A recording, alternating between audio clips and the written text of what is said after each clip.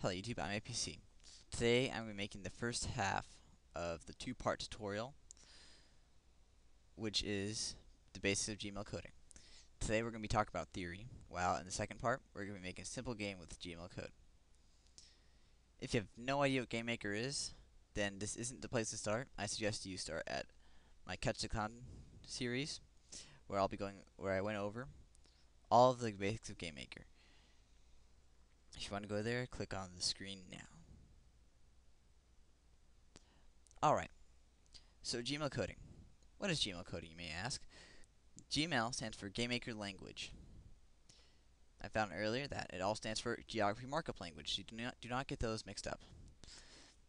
Important thing to know is that all your drag and drop functions that you learned about in Catch the Clown, or other tutorials, is transferred into, G into GML. So it's very similar. The advantage of using GML over drag and drop would be that um, GML has far more freedom and it's very good to learn uh, GML in, in my opinion because it's set up in the same way other prog uh, programming languages set up. When I say other programming language, I'm talking about Java and C++. GML code is actually a simplified version of C++, so it'll help you learn a lot more about programming overall. So now let's go on to the tutorial. Create an object. Because I'm only talking about theory today, you really don't need to name anything. Code is mainly put into three events. Creation event, step event, and the draw event. I'm not saying these are the only events, but I believe almost everything they need to do can be done in these events. Uh, events like collision events and keyboard can all be done with code. Alright. Creation event is used to set the initial settings that the object has. The draw event is for drawing code specifications. So in, in the um, drag and drop series, all I talked about with drawing was setting the sprite. But with coding, you can have a lot more flexibility with drawing. The step event is basically for everything else. This is where you'll put in all your functions and all the actions that occur are basically done in the step event. So, for this reason, I'm gonna we're gonna start on the step event today. Go to your control tab and drag in this box.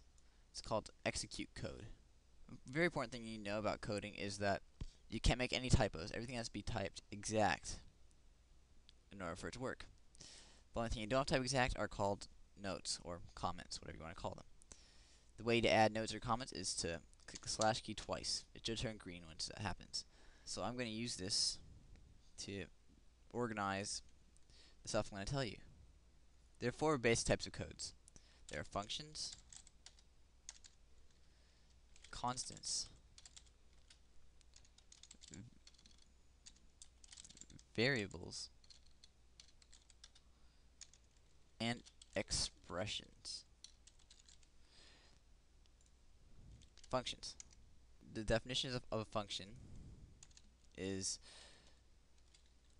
a operation which makes things happen or checks something.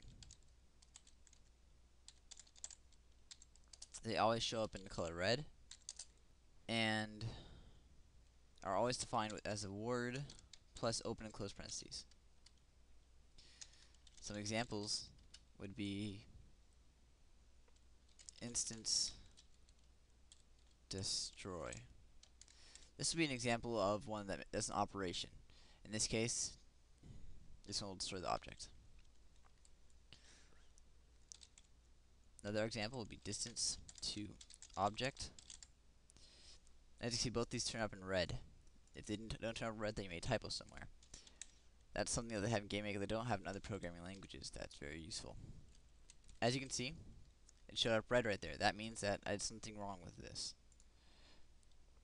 I know that between the parentheses, I need to put name of object. In this case, let's say obj enemy. If you're not sure what goes in between the parentheses, you can look down here, and it'll show right there. Now, obj enemy does not change the color. That's because that object does not exist. So, if we create an object, obj enemy, and go back, you can see it now turns yellow. All resources from the game turn yellow. So these would be sprites, sounds, objects, backgrounds, anything. A third example would be keyboard check. Um, as I said earlier, many of the events aren't really necessary. This is an example of how the um, check button event can be unnecessary. This this case, you have to put down the constant, a constant between those brackets of which one you want. Let's say VK left. VK left is the code for the left key. All this together is checking whether the left key is pressed. As I said, VK left is a constant, which brings us into our next section of constants. Definition of a constant is a setting which either keeps the same value, doesn't have a value at all, or has a value that we can't change. Like functions, it shows up in red. And it can be defined as anything. Example. You can make your own constants, but constants can also be built in. Few examples of built one are VK left, as we this is one we used earlier, and this is also a example of one that doesn't have a value at all. Constants aren't some constants that, that can't be alone. Left is one of them. For this reason, it shows up red down here because this is an unfinished statement.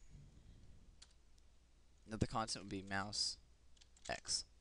Mouse x is an example of a constant which has a value but it can't be changed. Or at least not through coding.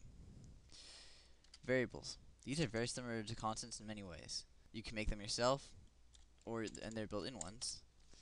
The main difference between constants and variables is that variables can be changed and are meant to be changed. So definition of variable will be a setting that is changed. There are two types of variables. And uh, in some situations this can also be applied to constants, but these are applied to variables more often. There's global versus local variables. a global variable is a variable that does not only work with this object.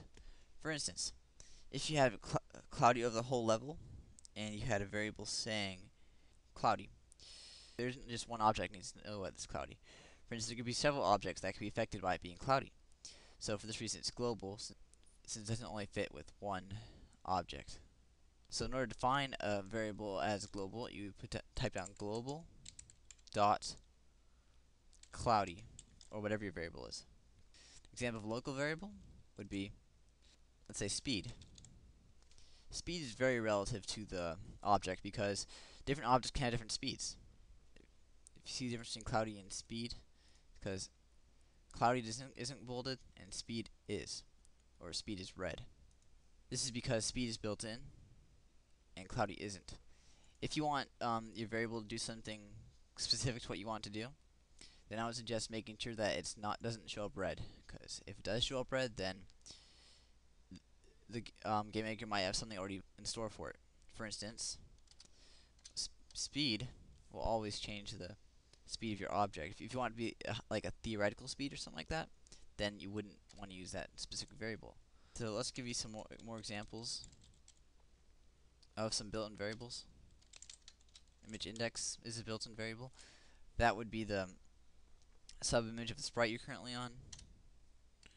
And sprite index is also a variable, which which sprite you're currently using. And there's also image speed. which is saying the speed that it's running through your subimages.